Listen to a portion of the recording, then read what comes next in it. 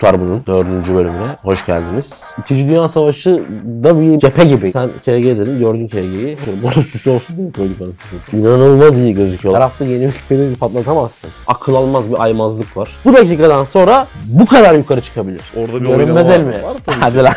Milli takım havuzunda böyle bir oyuncu yok. 2-3 gol bayisi gösteren gözlük. İlk iddia kuponun Tuttur'dan hediye. Yazarlar Kulübü'nün sevilen isimleri, fenomenlerin sıra dışı tahminleri ve canlı maçlar Tuttur'la cebinde. Sen de Tuttur'a gel, hediyeni al. Tuttur, en kral sensin.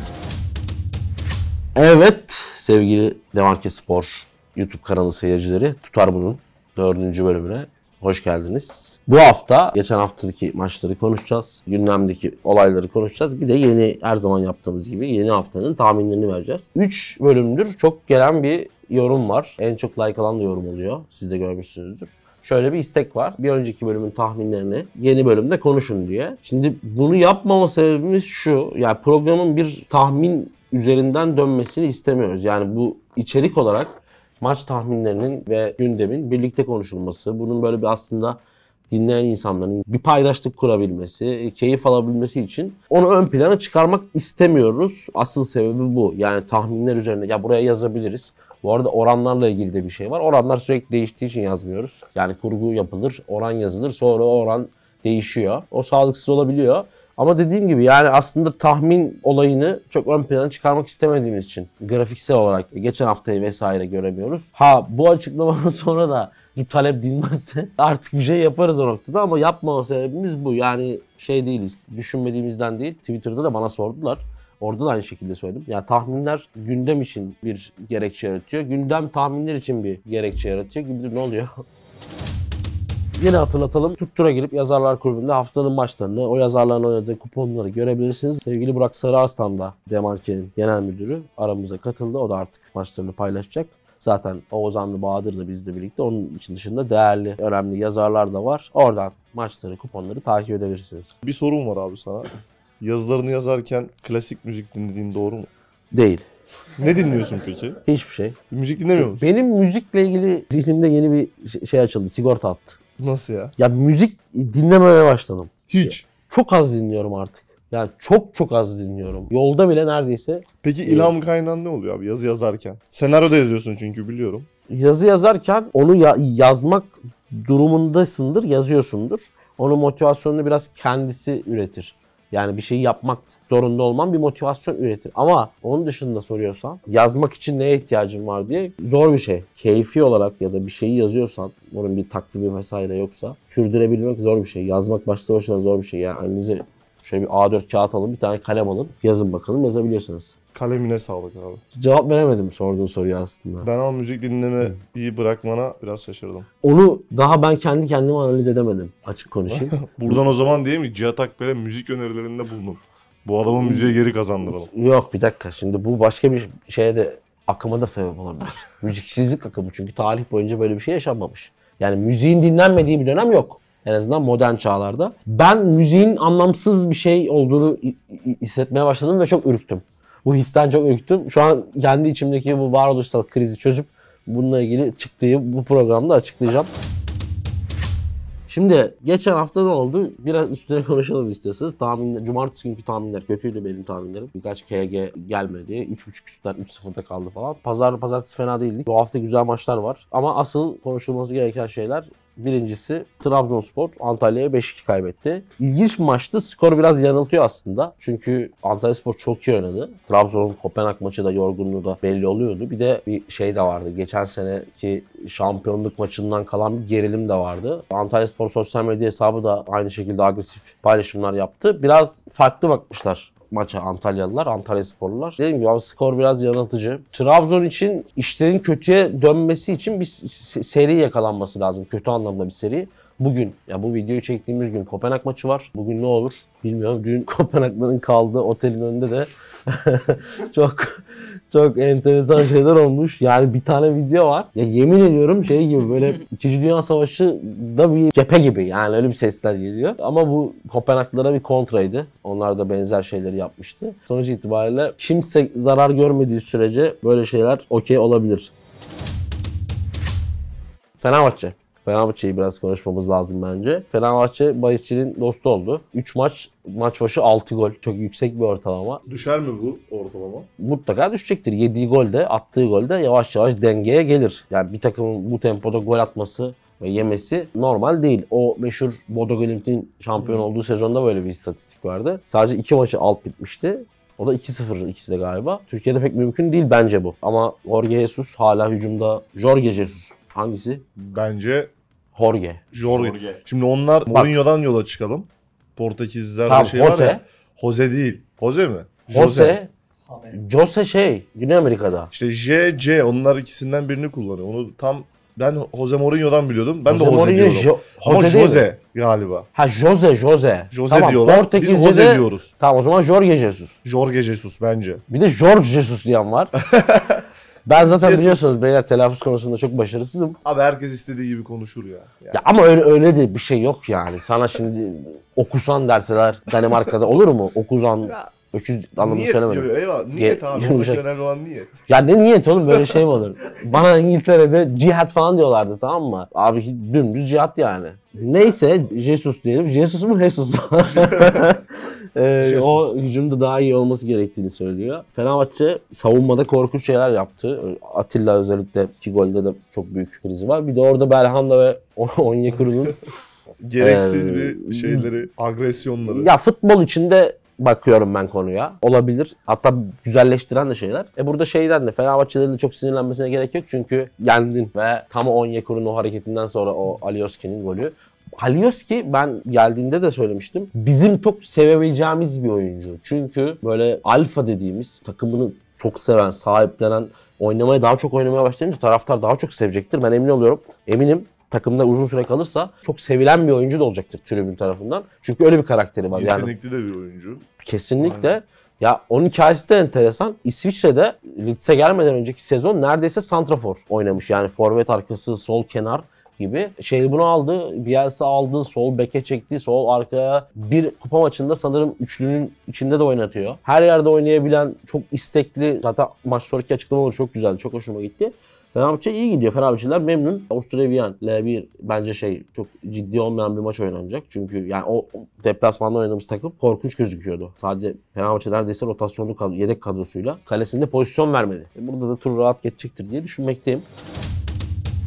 Galatasaray Ümraniye vardı. Sen KG dedin. Gördün KG'yi. Ama Ümraniye birkaç tane net pozisyon kaçırdı. Galatasaray kötü. Ben Galatasaray'ın Kötü bence. ben Galatasaray'ın daha iyi hale geleceğini düşünüyorum. Yani şöyle bir fikir var benim kafamda. İlk dört büyüklerin şampiyonluk için mücadele edeceğini düşünüyorum. Hepsi için geçerli bu. Hepsi sürpriz puan kayıpları yaptı. Hepsi dengede gidiyor. Ben dördünün de 28 29 30. haftaya iddialı geleceğini düşünüyorum. Bu sezonla ilgili böyle bir tahminim var. E bunların peşlerine Adana Demirspor, Başakşehir takılabilir. Konya bir ihtimal takılabilir. Biraz kötü başladılar sezona. Bir de onların zeminle ilgili sıkıntısı var. Şimdi yine Fenerbahçe maçı da. Orada da korkunç derecede bir akıl almaz bir aymazlık var Konya Sporu stadına yapılan. Beşiktaş Karagümrük'ü 4 yendi. Karagümrük tarafında aslında burada bir ayrı bir kriz var. Pirlo her maçta 4 yiyemeyiz diye bir açıklama yaptı maçtan sonra. Sıkıntılar var. Oyuncular gitti. Yerine gelen oyuncular biraz soru işareti. Takım şey hüviyetinden uzakta. Yani bir takım olma görüntüsünden uzakta. Ama ona rağmen 3-1'den sonra çok ciddi bir şekilde 3-2, 3-3'e gidebilirdi maç. Yani ikinci yarı Beşiktaş çok zorlandı.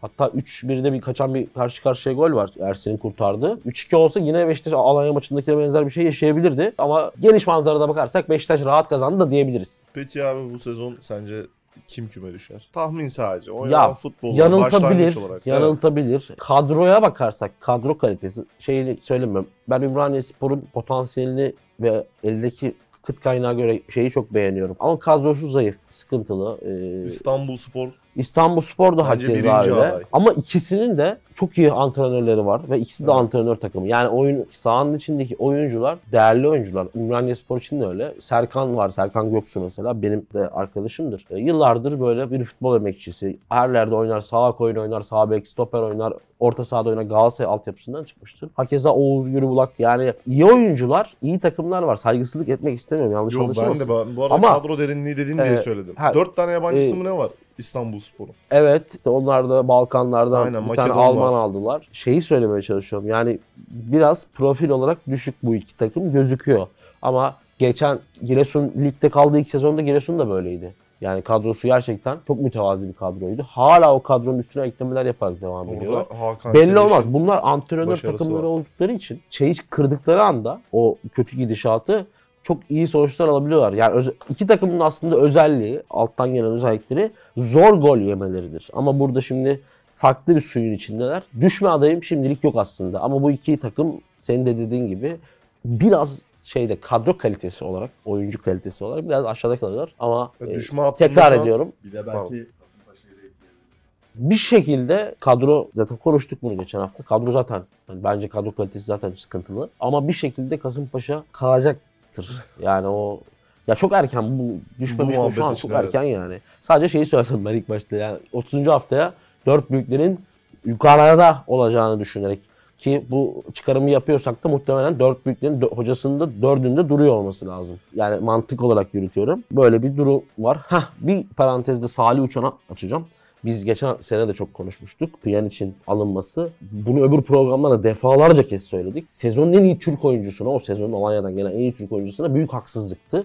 Oynatmadılar. Başakşehir'e kiraladılar. Emre Belezoğlu da oynatmadı. Bugün oynamaya başladığı zaman ne kadar özel bir oyuncu olduğunu ve aslında kariyerine bir sene bizim yüzümüzden ara verdiğini anlıyoruz. Yani oynamayı hak eden bir oyuncuydu bu. Milli takım seviyesinde bir oyuncu. Böyle oyunculara da çok ihtiyacımız var. Milli takım havuzunda böyle bir oyuncu yok. Yani bu seviyede, bu şekilde oynayan, bu stilde oynayan bir oyuncu yok. Salih Uçan'ın, iyi Salih Uçan'ı izlemek müthiş keyifli. Müthiş keyifli. Oyun içinde de çok iyiydi. Beşiktaş Kerem Atakan'ı a- Aldı. Konuşmuştuk gelmesi bekleniyor diye. İlk maçlarda Sivas'ta oynadı ama o da çok iyi bir transfer. Berkay Hakeza süper oynadı. Kartal Kayra çok iyi. Beşiktaş'ın gençleri Pjanic'i harika. Ben beni çok mutlu ediyor. Beşiktaş'a. Yani hangi hoca? Sergen Yalçın zamanında geldi. Sergen Yalçın.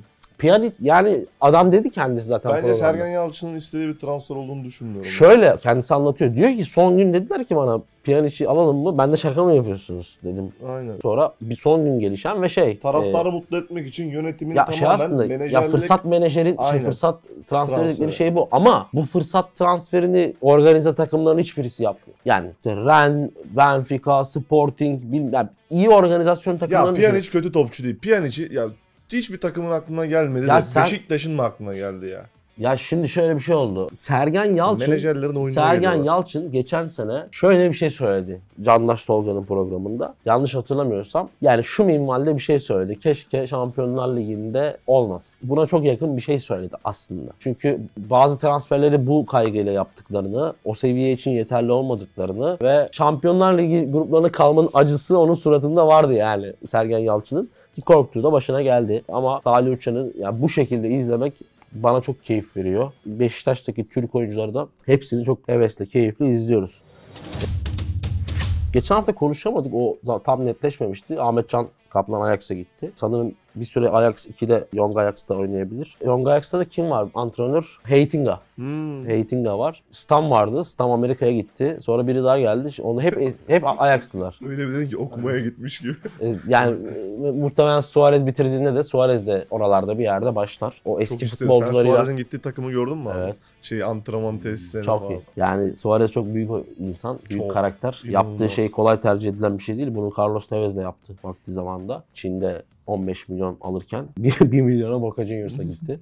çok kıymetli oyuncular. Casemiro'yu konuştuk mu geçen hafta? E, çok da konuşacak bir şey yok. Gerek. Çok iyi bir oyuncu aldılar. Liverpool'da biz karşılıklı gol var demiştik. Orhan ve Oğuzhan Liverpool yeler demişti ama Orada ben bir Premier Lig dokunuşu var ya. United o maçı kaybederse krize girecekler. Ronaldo giderdi. Erik Ten Hag Her şey sıkıntıya var? girerdi. Orada bir görünmez oynama mi? Var tabii Hadi lan.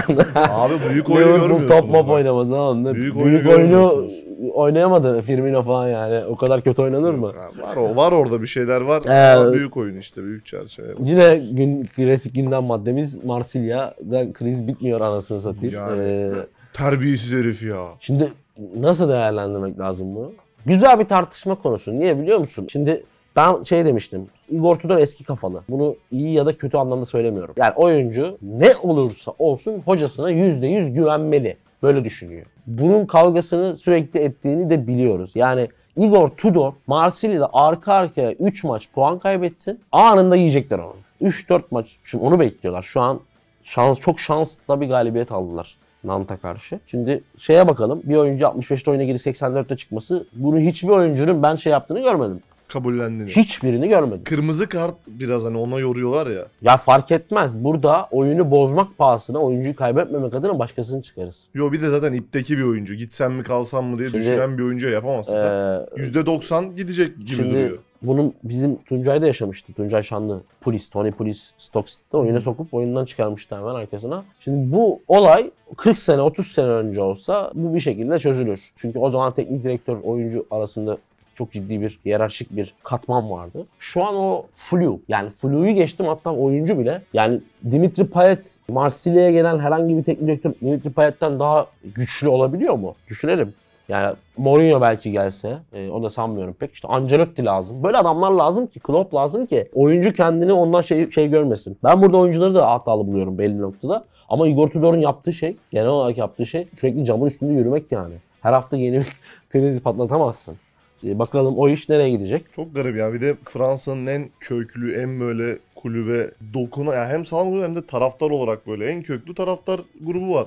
En böyle holigan, en ultras mı denir artık? Tam- evet evet en nedir? şey böyle Bilmiyorum. Her an böyle antrenman sahasını hatta sahayı sahaya atlayacak bir taraftar grubu var. Çok Kesinlikle. garip. Hala Maçlara geçelim. çok garip. Maçlara geçelim. Cuma günü çok iyi maç yok. Yani Lazio Inter var gözüken. Onu da çok tahmin yapmak işime gelmiyor açıkçası. Yani şey kestiremiyorum maçta ne olacağını. Cumartesiye geçelim direkt. Geçmeden bir şey soracağım abi. Bu sezon gözün kapalı maçlarına bahis aldığın bir takım var mı? Mesela bir zamanlar biraz önce de konuştuk ya Bodo Glimt 2.5 üst. Bu fixti mesela her kuponda yer alıyor. Şu an Napoli iyi gidiyor. 4-0, 5-2. Şeyi de çok rahat yendiler Monza'yı. Zorlamadan 4 yani öyle söyleyeyim. Yürücü çocuk efsane. Ee, Çatır çutur koyuyor. Şu an Napoli Lyon iyi duruyor. Lacazette alınca oradaki kazmalık bitti. Real Madrid'in oranları bu arada çok güzel oranlar Dipdiri. açılıyor. Dipdiri. Rotasyonlu 1.60'lar 1.50'ler. Şimdi 14.30 Southampton Manchester United günün işte 14 klasik 14.30 maçı. Bir süre havalar sıcak olduğu için bizim ligde erken maç yok. Yani 1 1.5 bu haftalar öyle maçlar oynanmıyor. O yüzden ilk cumartesi genelde Premier Lig maçıyla açıyoruz bu aralar. Şimdi Manu Liverpool'u yendi. Hak ettiler. Sonunda bir belki berabere bitebilirdi maç ama kazanmayı hak ettiğini düşünüyorum. Bu Casemiro transferiyle birlikte orada bir şey olacaktır. Kalkınma başlayacaktır. Şimdi Southampton deplasmanına gidiyorlar. Zor ama bazen de çok kolay olabilen bir takım Southampton. Yani çok dengesiz, çok inişli çıkışlı. 9 yedikten 2-3 hafta sonra City'yi yenen falan böyle garip bir takım. Ben karşılıklı gol var diyeceğim Southampton Manchester United'da. Mano'nun öyle gol yemeden deplasman galibiyetleri almasına biraz vakit olduğunu düşünüyorum. Southampton demişken Göztepe'yi aldılar ya Southampton'ın sahipleri. Evet öyle bir durum var. Yani şimdi Türkiye'de bu bir süredir konuşulan bir konu. Yani sadece Göztepe'nin satın alınması ya da borsadaki hisselerin alınması. Çünkü bizde kulüp satın alma official yok dernekler yasasına. Ama kulüp bir AŞ ise e, orada çeşitli yine satın almış gibi davranacak haklara sahipsin. Ama kulübün sahibi olamıyorsun. Sadece o an nasıl desem kabaca kulübü işleten olabilirsin. Şimdi bu nasıl sonuçlar doğuracak onu bilmiyoruz. Ben biraz Göztepe için değil yani bunların artacağını düşünüyorum gelecek zamanda bu tarz yatırımların. Bunların iyi sonuç verip vermeyeceğini kestiremiyorum. Bir yandan da şuradan bakıyorum. Kulüplerimizin satılması tamam artık yeni dünya biraz böyle bir yer ama çok hoşuma giden bir şey değil. Ama Göztepe'liler sanırım bu şeyi destekliyorlar bayağı. Orada çok kötü kulübün uzun süredir kötü yönetilmesi. Sanırım bu bu yeni sahipler de biraz taraftarı da şey alıyorlar. Radar alıyorlar. Orada da bir pozitif. Bakalım yani bilmiyorum. Arsenal Fulham var. Arsenal hakkında konuşmak istiyorum. Yani inanılmaz iyi gözüküyorlar. Ben Bournemouth maçını izlerken şok oldum. Yani 70. dakikaydı galiba ya da 60'ların ortasıydı. Bournemouth'un ilk şutunun geldiği dakika. Deplasmanda oynuyorsunuz ve çok erken 2-0 öne geçmişsiniz. Bu çok kolay bir şey değil. Şu açıdan kolay bir şey değil. Maç 0-0'dır. Arsenal sürekli topu ayağında tutuyordur. Rakip gitmiyordur. Anlarsın. Ama 2-0 olmuş. Yani bir takım 2-0 yaptıktan sonra, 3-0 yaptıktan sonra mutlaka top bir noktada rakibe gider. Rakip oynamaya başlar. Tamam mı? 20 dakika 15 dakika futbolun basit matematiği budur. Ya hiç kimse işte Fenerbahçe Adana Demir maçı. Fenerbahçe 2 attı, 3 attı. Sonra ne oldu? Beşiktaş Karagümrük maçı. Aynı şekilde ne oldu? Karagümrük'e döndü top. Ümraniye ilk yarı iyi başladı. Sonra ikinci yarı full Galatasaray oynadı. Bu biraz böyledir. Bu maçta onu da görmedik. Arteta hani Guardiola'nın izinden giden bir antrenör ama bence Guardiola'dan şu anki görüntüsüyle farkları var oyun stiliyle. Gabriel Jesus'u da bahsetmiştik. Özgür oynadığı takdirde inanılmaz yetenekli bir oyuncu. Yani herifin 3-4 maçları yaptığını 5 yıllık City kariyerinde görmedik. Şey anlamıyla görmedik. Nitelik manasında. tabii ki skora çok katkı yaptı. Onu biraz Neymar gibi kullanmak Arteta'nın işini çok kolaylaştırıyor. Yani ben oyun stilini de çok beğendim. Ben mi sağ bekte saat çizgide kullanması falan. Arsenal çok gö- gözüme çok güzel geliyor. Fulham'la oynuyorlar. Ben handikaplı Arsenal'in kazanacağını düşünüyorum. Bu Fulham dün de sanırım lig kupasında Crowley'e ka- kaybetti ama yedek bir kadroyla çıkmışlar. Bu, bu bir Londra derbisi zaten ama ben Arsenal'i şu- çok iyi görüyorum. Yani oyun olarak çok iyi görüyorum. Bunun tesadüfi bir şey olduğunu düşünmüyorum. Handikaplı Arsenal galibiyeti bekliyorum. Bir süre Arsenal'i buralarda zorlayacağız. Sanırım kupadan da bence intihar ederek, yani o kadro elenme kadrosu gibi duruyor. Bilerek elenmiş olabilirler. Lig kupası önemlidir ama kadro çok şeydi. Yani yedek kulübesinde de oyuncu yok. Crowley zaten kaçıncı lig takımı? Lig 1 mı? Üçüncü ya da dördüncü lig takımı. Lig, İki- lig iki 2. alt. Lig Aynen, 2. Lig 2. Yani dördüncü lig takımı. Hani Premier Ligi 1 dersek. 2-0 kaybettiler değil mi? Kadroya baktım ben. Elenme kadrosu. Lig 2 yani Ha, ikinci- Şampiyonşip'in dört, iki aldı. dört. Dördüncü lig Evet. işte ya. Arsenal muhtemelen zaten hoca bu maça kilitlenmiştir. Ama Londra derbisi. Ben Arsenal'in iki şey handikaplı kazanacağını düşünüyorum. Crowley de bir de liginde şu an sondan biri. 5 maçta bir 23. puanı var. Fulham ama Fulham'ın maç kadrosuna bak.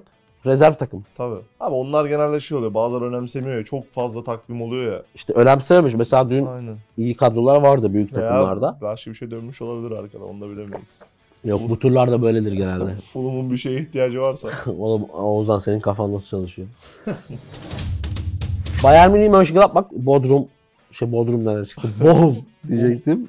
Bochum Bayern Münih maçında ben tutturdu o maçı yazdığımda ilk yarı 1.5 üst demiştim. İlk yarı 4-0 bitti. Bir de iptal edilen 2 gol var. Bayern Münih hiçbir şey yapmadan gerçekten hiç sıkmadan topu aldığında hızlı şekilde hücum ederek 7 tane gol attı. Şaka yapmıyorum. Bu ve ya bu takım ve PSG şu an kendi ligleri için çok yukarıdalar. Çok fazla fark var yani. Şampiyonlar Ligi'nde göreceğiz. Yani çok sinir bozucu bir fark var bu takımlarla diğer takımlar arasında. PSG 2 sene öncesinin şampiyonu Lille, o, da- o kadrodan çok az oyuncu kaybetmiş Lille. 7-1 yeniyor abi. Evinde yani bir de. Aradaki buzlar da erimiş gibiydi abi. Yok Hah. ya erimemiş hiçbir şey. Adam hiçbir gole sevinmemiş. Bence orada şey var. Yani bir göstermelik bir hikaye de var. Bak, ilk, ilk golde saniyeden dolayı biraz şok oluyor Mbappe o yüzden seviniyor. Diğer gollerde umursamıyor bile. Yok Ama ya. normalde de gol atınca sevinmiyor ya. O, o neyse küfür etmiyor. Orada o maç o takımı böyle Şampiyonlar Ligi'nde falan göreceğiz. Aynen, Şey anlamında kavgalar. göreceğiz. Yani başarı olarak demedim. Asıl orada kavgalar falan orada görünür olur. Ligde bir şey yok ki. Çıkıyor, yürüyor yürüyor gol atıyor. Zaten 3. bölgede topu Messi'nin ayağına atıyorsun. Messi alıyor, Neymar'a atıyor falan gibi böyle çok kabus gibi bir şey yani. Rakip takımın oyuncularını yerine koysanıza kendinizi. Orta sahanın ilerisinden kısa dribling atan Messi'yi gördüğün anda zaten şey sıkıntıya girmeye başlıyorsun. Şu an çok güzel hikayeler var ya şimdi mesela futbolda. Hele ki geldiğinde daha çok konuşuruz. Dünya Kupası dönemi. Yani bir olası Brezilya, Fransa karşılaşması ya var. Bir sadece Arjantin, işte, Fransa ya var o ya. var Ronaldo bilmem Ya, ne. ya Portekiz'i koymuyorum bile ama hani bu şu andaki iç karışıklıktan Ya dolayı. bir de belki bazı şeyleri de biz büyütüyoruzdur bilemeyiz. Ama ben o krizin ciddi bir kriz olduğunu e, uzun vadede herkesin kenara bir şeyleri yazdığını düşünüyorum. Neymar, Messi Bayern Münih- Mbappe Bayern. Münih Gladbach gelelim. Gladbach enteresan bir maç oynadı. Onlar işte bu sene Daniel Farke ile geçen seneki karmaşadan sonra fark ettiler. Hertha Berlin'i yendiler ama maçta bir penaltı krizi yaşandı. Penaltı oldu. İlk penaltıyı Plea gole çevirmişti. İkinciyi de Plea aldı. Sonra Patrick Hoffman penaltıyı gelip şeyden aldı. Plea'nın elinden aldı. Vurdu ve kaçırdı. Orada onun sebebi şu abi. 3 maçta 3 golle oynuyor Hoffman. Tamam. İstatistik biraz da kasmak Tamam bu için işte aslında. bu yeni bir hastalığa döndü. Evet. Yani Dünyada ben böyle bir şey kasayım, sayı, istatistik kasayım. dünyada böyle bir şey var. Bak Tuchel ne demiş gördün mü? Şöyle bir şey var ama orada. Ben maçı izledim bu arada. Ee, Tuchel yanlış mı söylüyorum? Tuchel. Tuhel. Bak yanlış söylüyorum. Yok ben çok kötüyüm ya. Galatasaray maçıyla aynı saate denk geliyordu çünkü. Bizim ofiste izliyorduk hepsini yan yana. Orada şöyle bir olay var. İlk penaltıyı Hoffman aldırıyor. Orada bir topa vuruyor. Adam böyle eliyle vur- topa vuruyor falan. Hoffman play'e bırakıyor orada aslında. İlk Penaltıcı kim? İşte onu bilmiyorum ben hani maçlarını Şimdi çok fazla penaltı bu olarak takip etmediğim için. Birincisi bu. Böyle bir sıkıntı var. Onu şimdi bilmiyoruz. Ya ben şimdi bilmiyorum. antrenörlerin bazıları penaltıcı yapmıyor. Yani iyi vuran alsın topu gibi bir şey söylüyor. Ben buna şiddetle karşıyım. Bir penaltıcı olur. Sıralama olur. Mesela Lyon şey Milan'da sıralama vardı. İbrahimovic penaltıları kaçırmaya başlayınca bıraktı penaltı atmayı tamam mı? Kesi, Theo, Hakan. Böyle bir sıralaması vardı. İlk sezondan bahsediyorum. İbrahimovic'in. Sıralama buydu. Bunlar o, yani iki kişi yoksa Kesi ile Theo yoktu. Rio Ave maçı 120. dakikada penaltı oldu. Hakan attı penaltıyı. Sıralama vardır. Yani bizim amatör kümede de böyleydi. İşte Eray, e, Musa, Serkan, Derdin falan tamam mı? Bu az önce söylediğim şey istatistik olarak Tuhel şey demiş. Penaltıları Jorginho'dan almak istiyoruz. Çünkü bunu bir santrafora vereceğiz ki hani bir sezonda 9-10 tane penaltı gol atması onun motivasyonunu, moralini çok etkileyecektir. Bence bu bir bahane tamam mı? Ee, Yani Jorginho'dan almaya yer arıyorlar penaltıları. Ee, Ya, o biraz bahane olmuş. Ya ben ben bu arada Jorginho'nun 1-2 sene daha durup yani bu sezonu da bitirir. Bundan sonraki çok uzun süre kalacağını düşünmüyorum Chelsea'de. Seviyesi aşağı gitmeye başladı. Yani yine iyi bir takımda oynar ama en üst seviyenin ya çok kötü bir, bir buçuk sene geçirdi. Her manada. Çok kötü. Penaltılar, İtalya bilmem ne falan filan. dediğine şöyle katılıyorum. Mesela Beşiktaş'ta Vegors gol atamamıştı. Penaltı oldu Alanya maçında. Hı hı. Vegors'ta yaptıkları bir hareketten Hı hı. dolayı şey kullandı. Gezal. Hı hı. E Şimdi doğru o. Tamam Gezal çok iyi tekniğe bir sahip. iyi de bir penaltıcı. Ama orada bırak Vegors kullansın. Hani o şeyi kırsın. Şeytanın bacağını kırsın. Başlasın bir Ya gollerine. o şeytanın bacağından daha ciddi bir şey olabiliyor işte. Yani o golü at, atıp atmaman hayati bir şey Ya olabiliyor. çok da güzel penaltı Ben- kullandı mesela ben Gezal. e, çok iyi penaltıcı. Ama ben kesinlikle atsın, forvet adam. kesinlikle penaltıcı. Hocanın penaltıcı seçmesini taraftarı. Kesinlikle yani hiç o sahada kim iyiymiş, kim iyi hissediyorsa o vursun falan. Ne bu şey? Müsamere mi bu yani? Ne iyi hissetmeye ne? Şey izledin mi? Psikolog, psikoloji Onunla, odası onunla mı? bu Ha? penaltı konusunu kapatalım. Serdar Dursun'un videosunu izledin mi? Hangi? Free kick oluyor. Yani free kick o şeyde işte duran top. Ha. İzletelim sana abi şimdi. Serdar Dursun kendi kendine gidiyor penaltı noktasına zıplayarak hayali topa vuruyor. İzlemedin mi? Yo. Abi bak bir izle görmedim ben Allah bunu? aşkına bir izler misin? Aa. ya Serdar çok komik. Free kick bu yandan yan top gelecek. top hazırlıyor. Adamın adamı zıplayarak penaltı atmak. Şimdi Serdar Dursun'la ilgili söylenecek çok şey var. Harika Bence- bir adam. Bence ben, ben çok çok seviyorum. şey bir figür. Şimdi niye öyle diyeceksiniz? Almanya 3. ligi, alt ligi, Türkiye alt ligleri 28-29 yaşına geliyorsunuz. Bundesliga 2'de gol kralı oluyorsunuz ve Fenerbahçe'ye geliyorsunuz ve milli takıma kalıyorsunuz. Milli önünüzde neredeyse her maçta gol atıyorsunuz. Fenerbahçe'de şimdi bir futbolcu bir de bu dakikadan sonra bu kadar yukarı çıkabilir. Yani Serdar Dursun inanılmaz bir azim örneği. Yani bir futbolcu zaten yani şöyle söyleyeyim size bir oyuncu düşünün. PSG altyapısında futbola başlıyor. Kariyerine devam ediyor. Ne bileyim Lyon'a gidiyor. işte Everton'a gidiyor falan filan. İyi takımlarda oynuyor. Belki PSG hiçbir önemli değil. Ya bu kariyer böyle bir şey. Serdar Dursun'un hikayesi bunun tam tersinde duran bir hikaye. Yani en alttan en dipten hiç kimsenin dönemeyeceği bir nokta. Yani 28-29 yaşında Almanya'dasınız, ikinci ligdesiniz. Darmstadt'ın santraforu. Bir sene sonra hem Türk milli ya bir sene sonra Portekiz maçına oyuna giriyorsunuz. Bir örneği var yumruk bunun. atarak Nuno Mendes'e.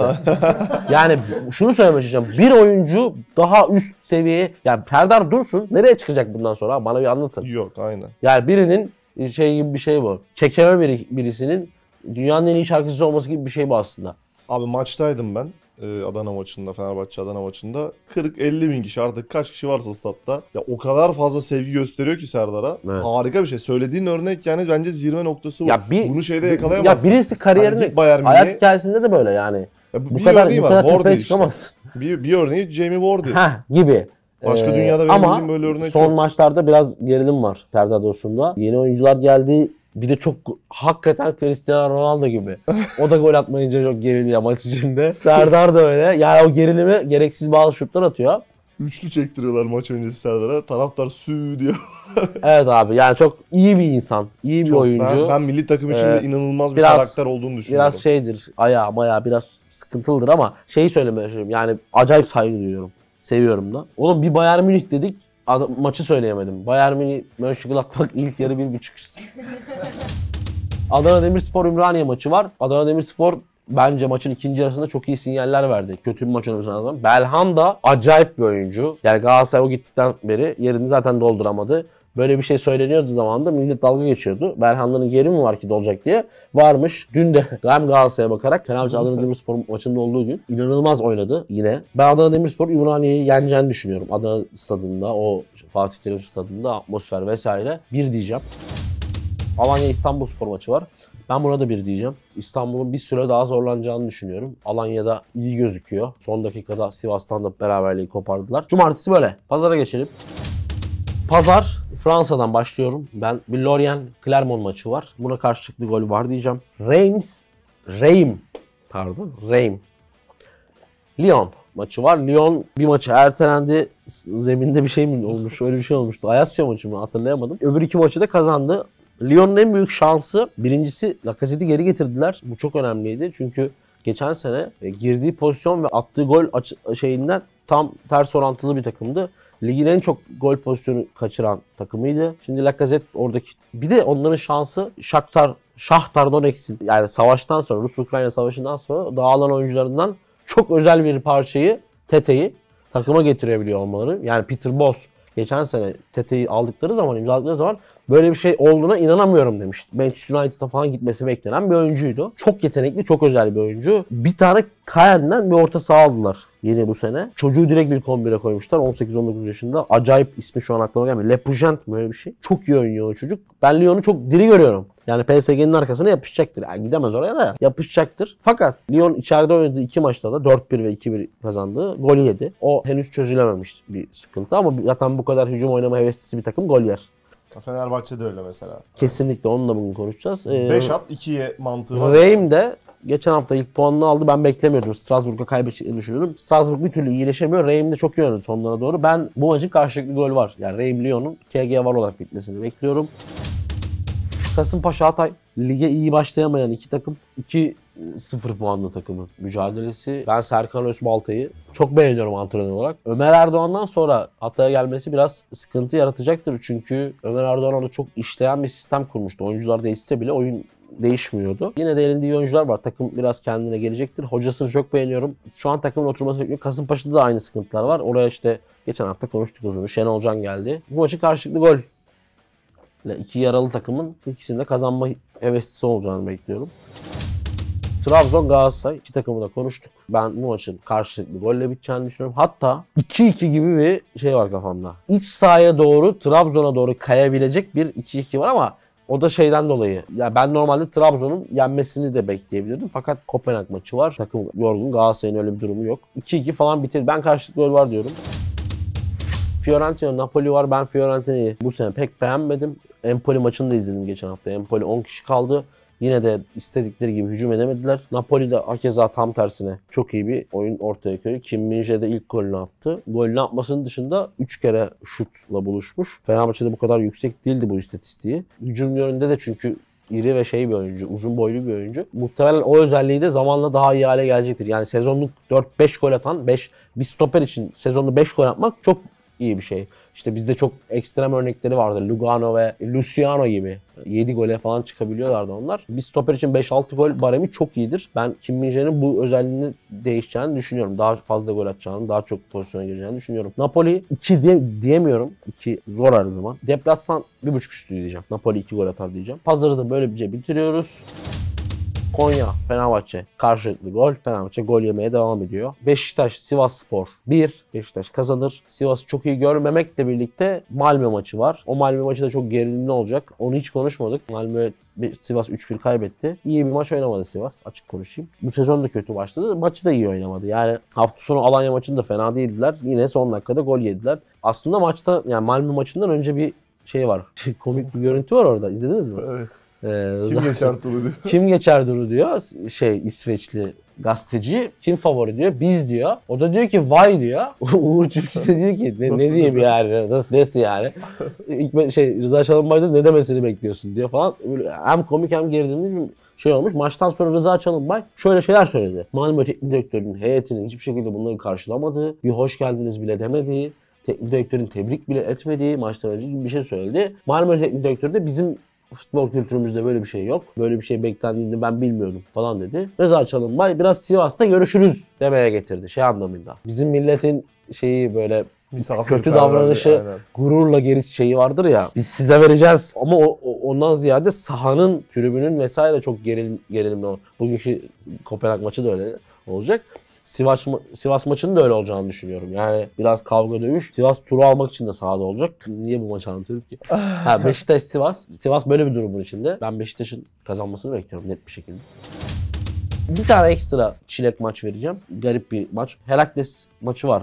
İkincilik. Hollanda ikinci ligi. Herakles geçen sene çok büyük bir komedi eşliğinde alt lige düştü. İmkansızı başararak böyle arka arkaya saçma sapan şeyler yaptılar ve ligden düştüler. Yani belgeseli çekilecek bir süreç. Takımın iskeletini korudukları için aşağıda çok ciddi bir fark yarattılar. 3 maçta 10 gol atıp hiç gol yemediler. Bu Hollanda 2. ligi için anormali. Yani anormal bir durum olduğu için ben böyle şeylere bayılırım. Deplasman gol önereceğim. Yani Herakles gol yiyene kadar burada Herakles'in rakiplerine gol oynayacağız haberiniz olsun.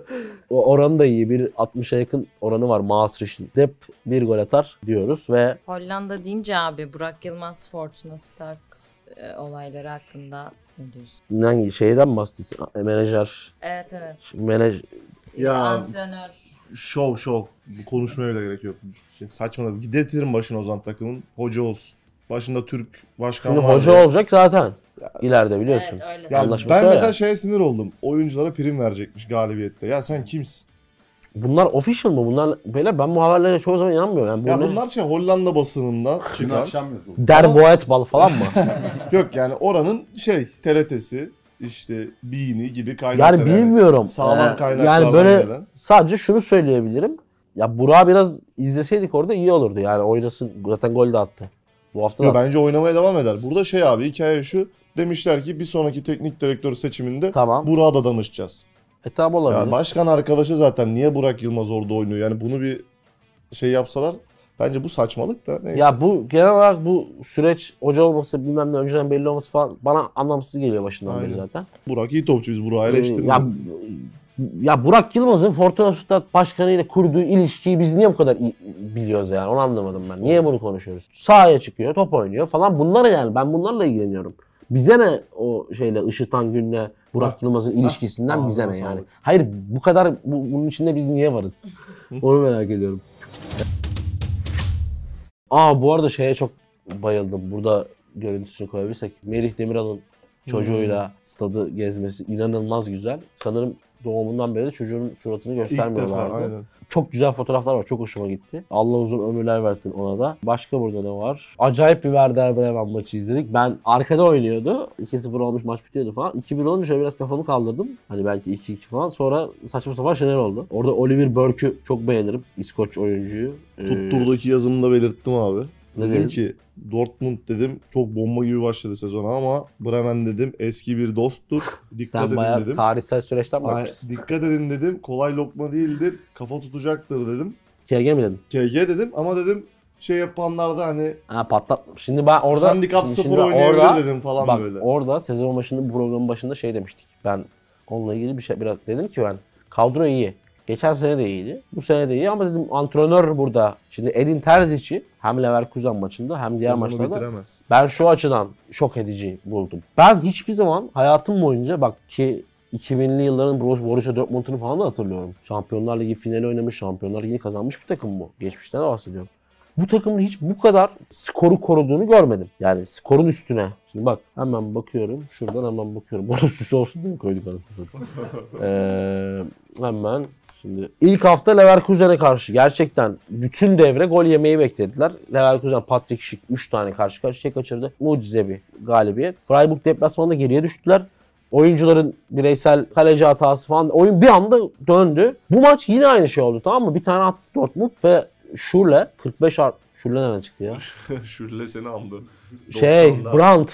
Brandt, Julian. Brandt 45 artı 3'te çok ekstra bir gol attı. 1-0 oldu. İkinci yarı başladı. Yine Dortmund topa basıyor. E, hasbelkader Guerrero uzaklardan tav, şapkadan tavşan çıkardı. 2-0 oldu. Bu kadar Dortmund'u kendi sahasında bekletip yani oyunun içinde topu gezdiren halini hiç görmedim ben. Yani Dortmund skoru hiçbir zaman korumak isteyen bir takım değil. Daha fazlasını.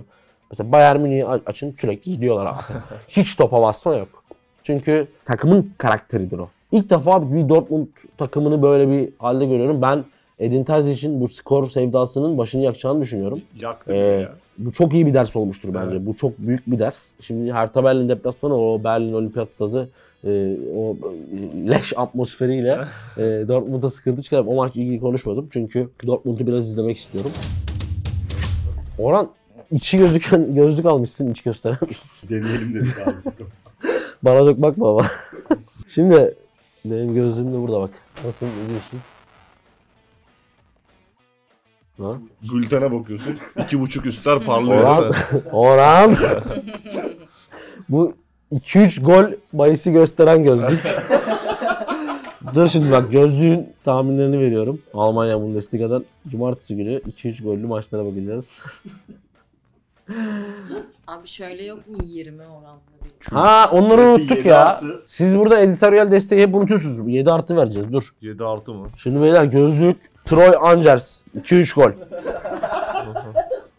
Aruka Braga 2-3 gol ve Eibar Ponferradina 2-3 gol dedi.